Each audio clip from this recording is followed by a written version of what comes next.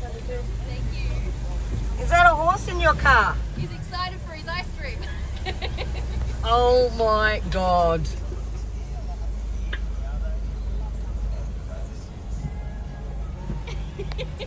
That's Rocco. Hi, Rocco.